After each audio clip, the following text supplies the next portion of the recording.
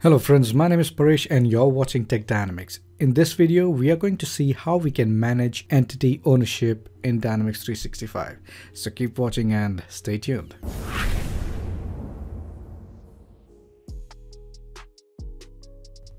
Let's just uh, first understand what entities are in Dynamics 365.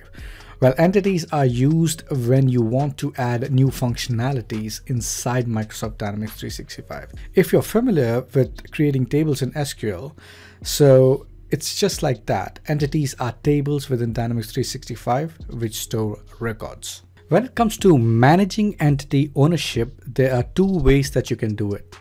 First is the user or team ownership, or the second type is organization ownership.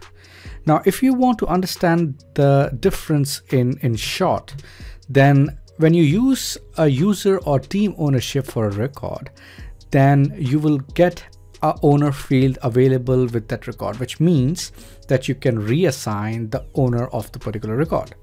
But if you are using organizational ownership for a particular entity, well, then the records over there will not have an owner field, which means the user can either see the record or not see the record. So as far as um, the security is concerned, the security for user or team ownership is controlled at five levels. That is organizational level, business unit, parent-child relationship, business unit level, user level, or none. And as far as the organization ownership is concerned, well, it's just two levels. That is either organization level or none.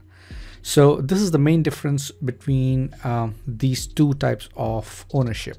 So let's just go ahead and see how you can define or how you can manage the ownership of particular entity. All right, so here we are in our Dynamics 365 environment. Let's just go to advanced settings. We can either go to customizations or solutions, but the best practice is that you create your own solution and define your own entities over there. So let's just go to solutions and I already have a solution called Tech Quantum. Under entities, uh, let me define a new entity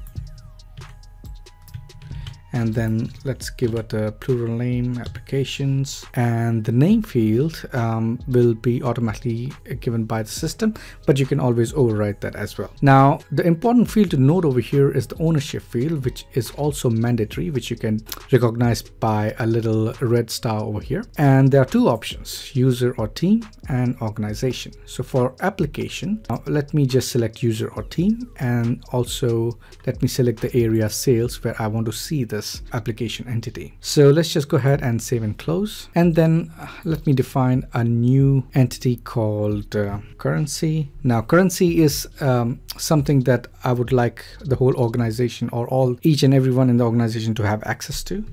And again over here with the ownership, let me select organization for this and select the area as sales, click save and close. Now in order to see these changes in my application, I need to publish these customizations. So over here, we can select entities and click on publish so that my customizations are published and they are visible in the application. Now, I have just created a simple example. I have not defined fields or anything yet. This is just for the ownership field.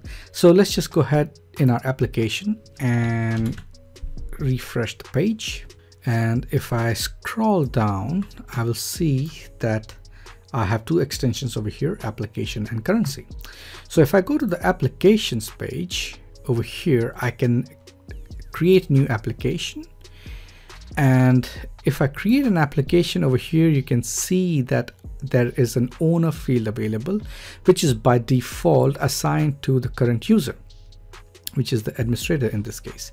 So let me just define an application over here. And with the owner field over here it does not necessarily have to be the current user. It can be any user or team.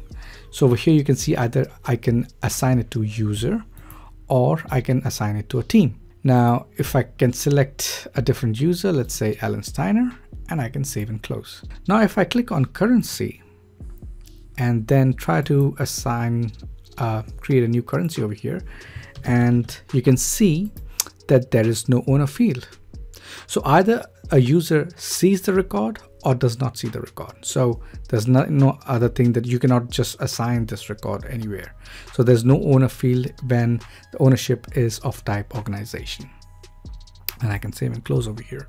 So I hope you understood uh, how you can manage uh, the ownership of entities and the records in the entities in Dynamics 365 and what's the basic difference between them.